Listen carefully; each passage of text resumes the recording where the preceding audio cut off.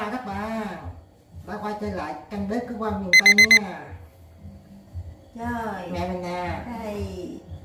Hôm nay mình sẽ thực hiện một cái món ăn à, đầy đủ chất bổ dưỡng. À, đó là món canh sườn heo nấu với rau củ. À, một cái món ăn cũng không lạ lẫm gì lắm ha. Nhiều người cũng nấu. Và bây giờ mình sẽ thực hiện cho gia đình mình nha của bữa trưa hôm nay xin mời các bạn. Để thực hiện cho cái à, cái món nấu à, canh này thì mình sẽ gồm có những cái à, thành phần sau đây nha thứ nhất là sườn heo, mình sử dụng sườn heo là 400 gram. Rồi bên cạnh đó thì có là, đây là táo táo đen đó các bạn thuốc tàu đó. Và đây là nấm đông cô. Mình đã dầm nước và mình rửa sạch hết rồi về phần rau củ thì mình gồm có là củ cây đỏ nè. Bắp bắp. bắp. Rồi có là bông cải bông cải xanh rồi củ cải trắng là su rồi còn là hàm khoai tây. Rồi gia vị thì thông thường như là chút xíu mình à, nấu mình nói ha cho nó nhanh. Và bây giờ mình sẽ thực hiện.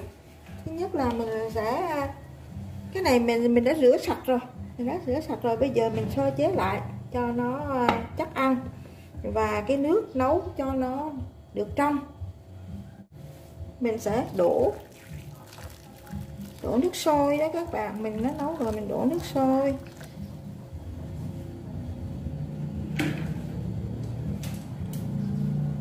Mình rửa lại cho sạch nha các bạn. Các bạn, thì khi mình rửa sạch rồi thì cái nước mình sẽ nó trong lắm nấu nó nước nó nước hầm nó trong.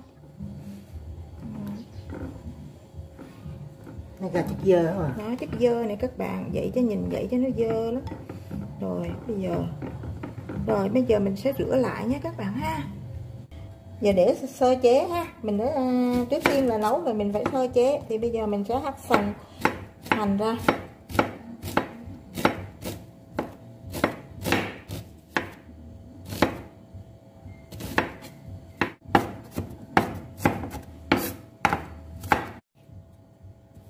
mình sẽ sắc cà rốt.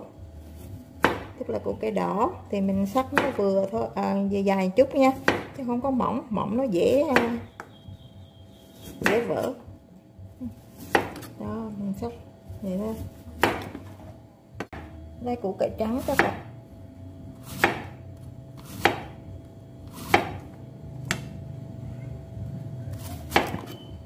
Và đây. Có người thì nấu mà có người không thích nấu và nhà mình thì thích đó. Là là khoai tây cho nên mình ăn nó ngon cho nên là nhà mình thích lắm. Mà quay tây cũng ngon mà. Ăn cái tây ngon mình kệ nấu ăn. Cho bổ khoai tây thì cũng bổ dưỡng. Nè mình nấu hai củ hả?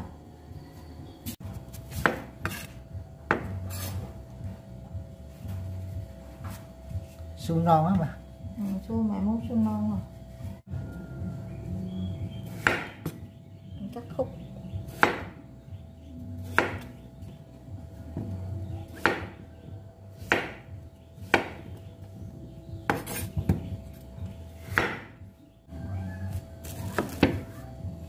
mình cắt nha cắt từng nhánh từng nhánh lớn lớn con cải xanh nha các bạn. Ừ, cái xanh. Các bạn này. Nhà mình cũng thích ăn rau củ dữ lắm các bạn. Cái loại bắp mỹ này các bạn biết là nó ngọt ha. Cho nên mình cũng ờ, ưa lắm thích lắm. À, các từng khúc khúc đi ngọt nước lắm các bạn. Nó ngọt nước ăn mà cũng ngon. Rồi đến khi mình này thì hay khới ăn ngọt ngọt ngon ngon. Ngon chứ.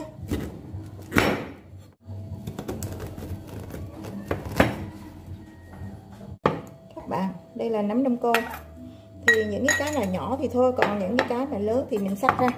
Ha mình sắc hai ra. Cho nó nhỏ để ăn. Lớn như thế.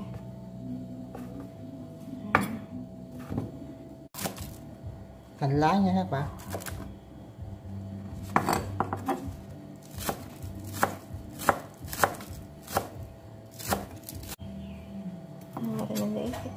thôi các bạn để mình bỏ trên mặt á cho nó đẹp. Rồi xong. Rồi các bạn. Rồi bây giờ chúng ta sẽ ờ, tiếp tục à, bước vào cái công đoạn nấu thực hiện nấu ha các bạn ha. Rồi bây giờ mình thực hiện nấu nha. Thì trước tiên mình sẽ đổ cái ờ, bỏ bật lửa. Bật lửa để cái nồi nó nóng lên. Xong rồi đổ dầu ăn xong rồi mình bỏ cỡ khoảng ờ, một muỗng dầu ăn thôi nha các bạn. Chứ không bỏ nhiều. Rồi thôi mình sẽ sử dụng là cái ờ, dầu hướng dương. Còn các bạn sử dụng dầu gì cũng được tùy theo mỗi gia đình. Rồi, bây giờ mình sẽ bỏ cỡ khoảng một muỗng. Hành hành nó mình đã băm rồi nè để cho nó thơm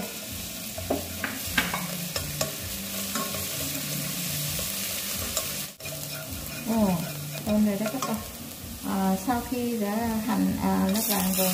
Thì mình sẽ bỏ những cái à, miếng thịt cuộn này để vào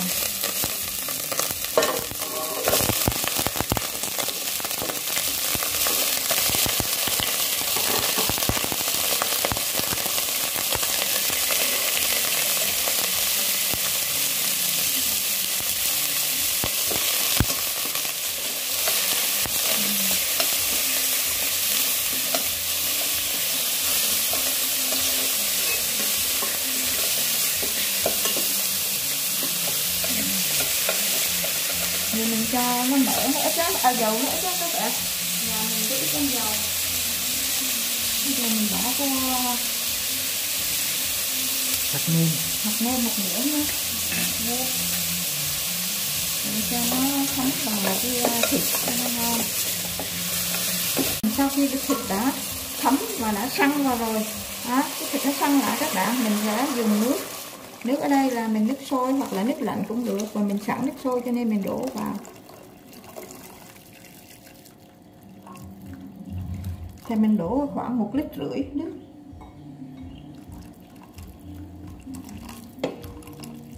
Vì muốn là mình muốn để nhiều nhiều để nó cho mềm mềm thịt và mềm rau củ.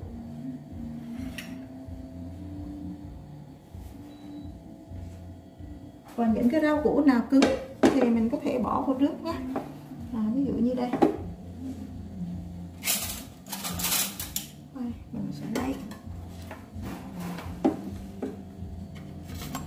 mình lắp á vào trước.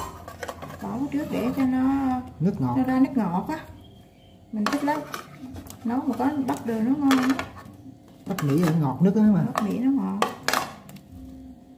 À, những cái nào mà cứng thì mình cho nó vô trước. Ừ. cho lớn lửa lên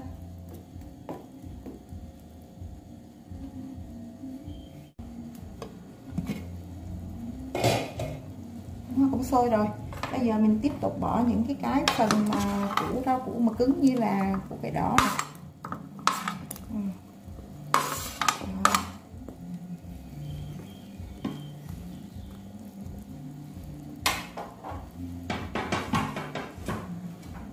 Nấm vôi cho cho ngọt nha.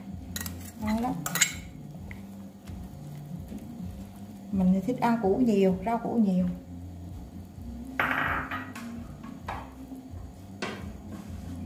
Táo này ngọt lắm. Cho nên mình bỏ vô để cho nó tăng cái chất ngọt lên liền. Nha nó ngon lắm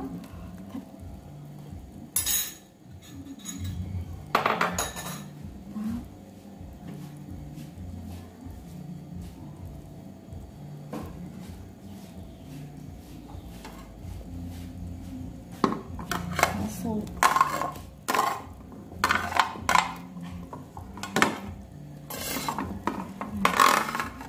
mỗi thứ mỗi ít thôi. Mà nó nhiều nó ngon. Ngọt bạn thấy không? Dễ sợ một nồi luôn.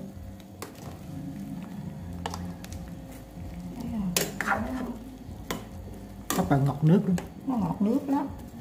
Ngon. Nhiều lúc các bạn biết á đổ nước dừa vô nữa. Thích nấu nước dừa ngọt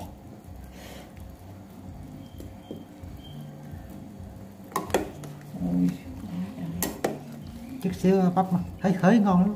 Ngon lắm. Vui lại nha, để cho nó mau sôi, nó mau chín đó đã không sôi rồi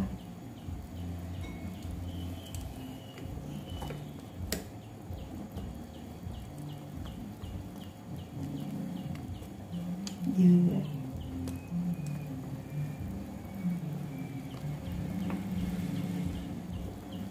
nó màu đủ màu sắc.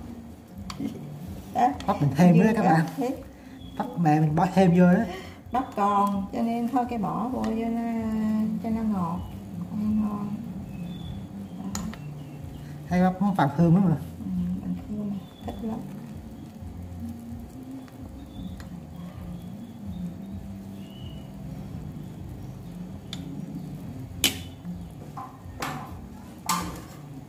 Rồi mình cũng bỏ khoai vô đủ thứ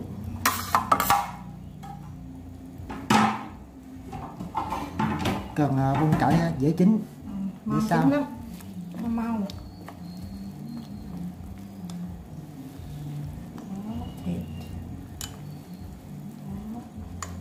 ngon quá ha.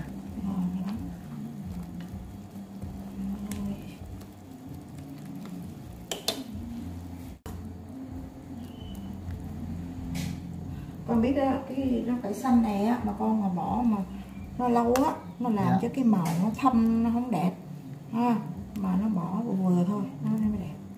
Chút xíu nữa bỏ. Rồi bây giờ bỏ ra. Bột nêm nữa các nêm bạn. nhé các bạn. Nêm nó bỏ thêm. Nêm.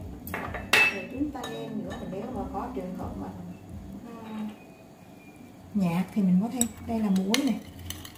Muối thì à, nửa cái muỗng cà phê chút xíu. Nhà mình ăn ít muối lắm rồi các bạn đây. Đây là đường phèn nha các bạn. Đường phèn thôi ôi chết nóng quá. Rồi. Đường phèn ngọt khanh lắm các bạn. Đường phèn nó ngọt thanh nó ngon ừ, muỗng đó các bạn. Muỗng đường phèn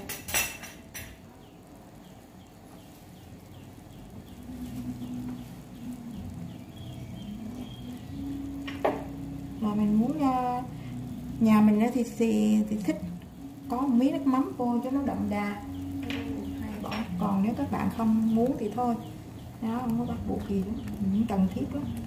Mình thì ưa ăn nước mắm. Mình sử dụng nước mắm phú quốc ấy, cho nên nó thơm nó ngon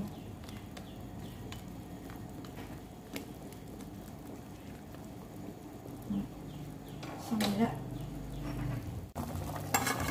sau cùng là con cải cái con cải. Có cái màu xanh xanh cho nó đẹp.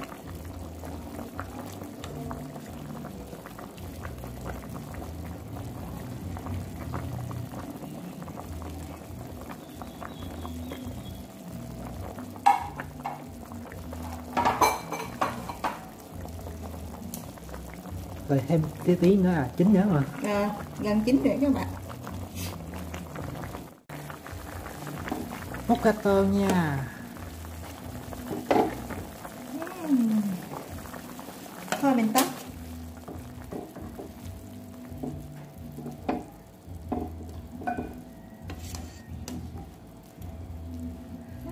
dẫn quá à. dẫn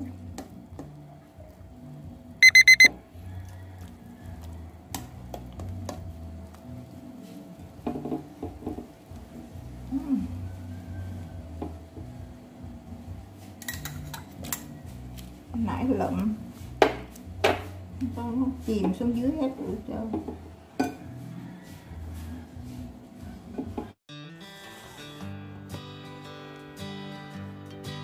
tô canh sườn rau củ quả của mình đã xong rồi đây nè các bạn. Canh nước trong ngọt từ cái xương, từ rau củ quả. Thịt thì mềm. Và màu sắc thì các bạn thấy đẹp chưa? Mùi canh thì cực kỳ thơm. Nếu các bạn thấy tô canh ngon hấp dẫn các bạn trông xin mình làm một cái gì?